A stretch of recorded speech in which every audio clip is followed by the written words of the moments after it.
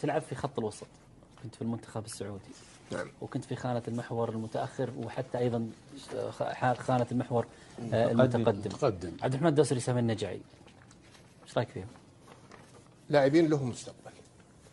ورغم أنا أشوف ال- يعني سامي النجعي مم.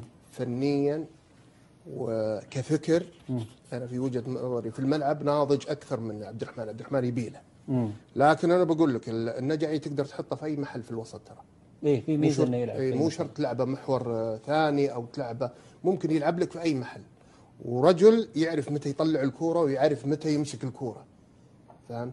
عبد الرحمن يعني أنا بقول لك آه، يعني آه، لاعب جيد وعنده مستقبل بس إنه أحيانا آه، زي ما تشوفه في الملعب تو يبي له خبرة. إيه. قلقان وكذا. النجعي اللي يشوفه يقول هذا لاعب له فترة طويلة مع ال- مع مع الفريق الأول. يعني حتى يوم شفته مع منتخب الشباب أنا أناظر فيها أقول هو لعبة فايق المجموعة اللي حوله. حقيقة. لا من الفريق الخصم ولا من خوياه.